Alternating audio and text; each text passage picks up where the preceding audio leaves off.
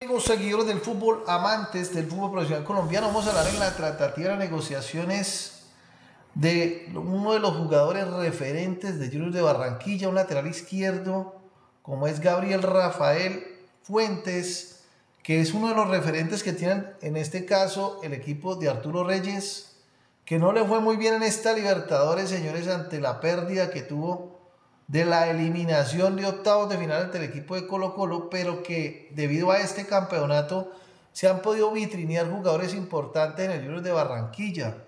Vamos a hablar en la negociación que podría ser para el tema de Fluminense en comunión con Gabriel Rafael Fuente, lateral izquierdo, que vamos a hablar en detalle con los créditos Antena 2 en este tema de la información, así que los invito para que se suscriban totalmente gratis como los seguidores del fútbol y sigamos siempre adelante con todas las altas, bajas, curiosidades, novedades del fútbol profesional colombiano. Le dan el botoncito rojo de suscribirse y se hacen parte de los seguidores del fútbol para que estemos bien en el tema de la información. Bueno, es el caso del lateral izquierdo Gabriel Rafael Fuentes, que ha despertado interés en el histórico Fluminense, que por cierto clasificó muy bien en este certamen. Este equipo brasileño actual campeón de la Copa Libertadores y que jugará el Mundial de Clubes eh, de la FIFA 2025. Según se informó desde Río de Janeiro, el canal Raiz Tricolor, el conjunto brasileño, ya se contactó con los directivos de Junior para reconocer, para conocer las condiciones para entrar en la tratativa de la negociación y hacer llegar una oferta formal. El interés por fuentes surgió luego de que Fluminense sufriera las lesiones de jugadores importantes como Marcelo y Diogo Barbosa.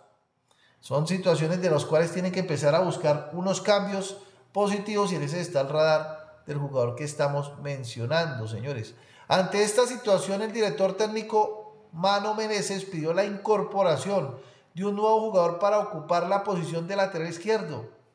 La opción de Fuentes fue acercada a Fluminense a través de algunos intermediarios. Adicionalmente, el equipo brasileño conoce muy bien al futbolista,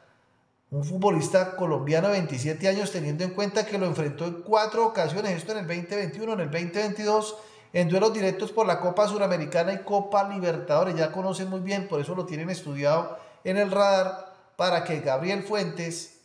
que en este momento está con Junior de Barranquilla, que se ha vitrinado muy bien en esta Copa Libertadores, que no le fue muy bien al Junior, pero que esto le sirvió para que lo tengan en el radar. Actualmente Gabriel Fuentes tiene un contrato con Junior de Barranquilla hasta diciembre de este año 2025 y el cuadro rojo y blanco permitirá su salida si recibe una oferta que superaría los 2 millones de dólares. Si ellos llegan a ofrecer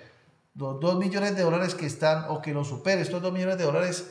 entrando en una tratativa de negociación como se está haciendo ahorita con el Junior de Barranquilla por el lateral izquierdo Gabriel Fuentes, pues sería una posibilidad de llegar al equipo de Fluminense. Vamos a estar muy pendientes de esa tratativa de negociación que puede cambiar positiva, negativa, que se hizo al inicio de la novela, que está en un nudo y que estamos esperando el desenlace de lo que será Fluminense con en comunión de este jugador lateral izquierdo, Gabriel Fuentes, que se ha vitrinado muy bien a pesar de no los objetivos primarios de Junior de Barranquilla en esta Copa Libertadores, que ya no será más. En una próxima edición lo leo en la caja de comentarios. Todas sus opiniones son muy importantes. Y si yo leer, my friends.